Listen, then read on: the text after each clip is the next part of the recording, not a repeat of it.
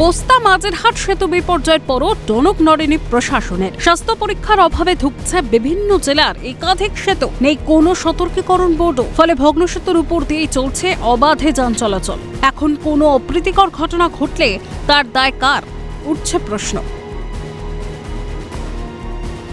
দুর্গাপুরের কাকসার পানাগড় মোরগ্রাম রাজ্য সড়কের কুনুর নদের উপরের সেতুটির একাংশ বসে যাওয়ায় বিপত্তি। তারপরেও হুঁশ ফেরেনি প্রশাসনের। কোনো সতর্কীকরণ বোর্ড তো নেই নেই কোনো পুলিশে প্রহরাও, যার ফলে ওই ভগ্ন সেতু দিয়েই অবাধে চলছে যান চলাচল। বড় ট্রাকও ওই সেতু দিয়ে যাতায়াত করায় আতঙ্কিত স্থানীয় মানুষজন। এর আগেও এই ঘটনা ঘটেছে। সেই সময় সেতু সংস্কারের কাজ হয়েছে দায় সারার মতো। সেতুর নিচে কেবল বাঁশের মাচা করে দেওয়া হয়েছিল পূর্ত দফতরের তরফে। তবে বাঁশের মাচা এত বড় একটি সেতুকে কি ধরে রাখতে পারে? সেই প্রশ্নই উঠছে। অন্যদিকে সেতু বিপর্যয়ের খবর পেয়ে ঘটনাস্থল পরিদর্শনে আসেন পূর্ত দফতরের আধিকারিকরা। এ বিষয়ে তাদের প্রশ্ন করা হলে কোনো উত্তর না দিয়ে এক প্রকার পালিয়ে যান তারা। গেলে কি হবে? আমরাই মরবো আর কে? সরকার তো মরবে না। মধ্যে আমরা আসা করি রাস্তার মধ্যে। ব্রিজের অবস্থা খুবই শোচনীয়। যে কোনো মুহূর্তে ভেঙে পড়তে পারে। এই যে বৃষ্টি জল হলো না মধ্যখানটাতে একদম পুরো জলে ভর্তি ছিল। মানে গাড়ি পাড়া পার করা খুবই কষ্ট। হ্যাঁ তো মাপ হলো একবার মাপ হলো বললে হ্যাঁ ওইদিকে ব্রিজ হবে। কিন্তু কই ব্রিজের কোনো ব্রিজেই নেই। প্রচণ্ড খারাপ। গাড়ি চলতে পারছে না ভালো করে। ব্রিজ সব ভেঙে গেছে। গাড়িওয়ালা ছ ঘণ্টা জ্যামে মরছে। ওটা কি দেখলেন? পোস্ট ডিটেকশন হোক তারপরে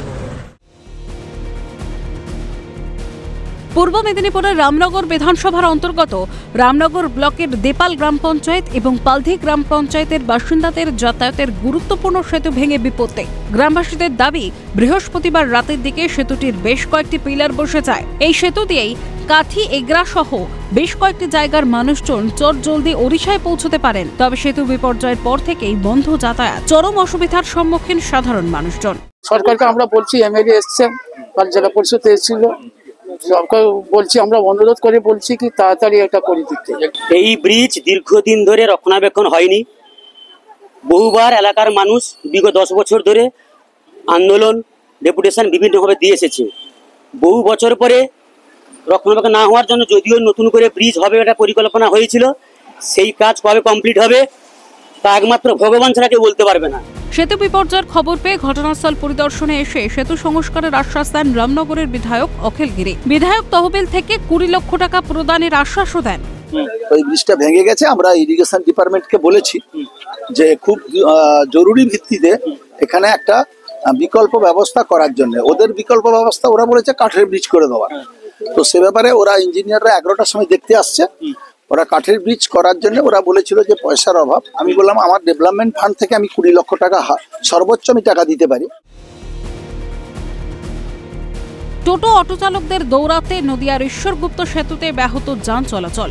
ভাগীরথী নদীর এপারে কল্যাণী এবং ওপারে বাঁশবেরিয়া কল্যাণী থেকে কোনো অটো টোটো ম্যাজিক গাড়িকে যদি যাত্রীসহ বাঁশবেরিয়ায় ঢুকতে না দেওয়া হয় তবে ওপার থেকেও কোনো গাড়িকে এপারে ঢুকতে দেওয়া হবে না। এমনটাই দাবি আন্দোলনকারী টোটো অটো চালকদের। আমাদের গাড়িগুলো ওরা বন্ধ করে দিয়েছে। চব্বিশটা গাড়ি বন্ধ রয়েছে।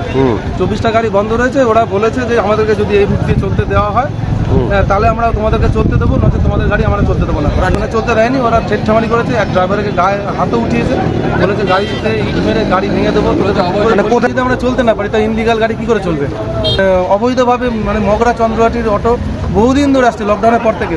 ওপারের ম্যাক্সিমাম মানে ত্রিবেণী মানে স্টেশনের মানে টোটো মানে সারাদিনে নাই করে তিন থেকে সাড়ে তিনশো অটো আর টোটো গাড়ি চলে। হ্যাঁ সেখানে আমাদের ব্যবসা একদম উঠে গেছে। রাজেশ সেনগুপ্ত, বিনোদ মণ্ডল এবং সুবীর দাসের রিপোর্ট, ক্যালকাটা নিউজ।